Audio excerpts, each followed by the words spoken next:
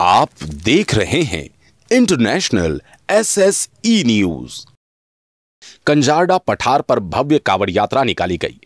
भगवान श्री चार भुजानाथ की जन्मस्थली प्राकृतिक पर्यटक स्थल झरनेश्वर महादेव से प्रतिवर्ष की तरह इस वर्ष भी कोरोना गाइडलाइन का पालन करते हुए हिंदू उत्सव समिति के तत्वावधान में कावड़ यात्रा का आयोजन हुआ।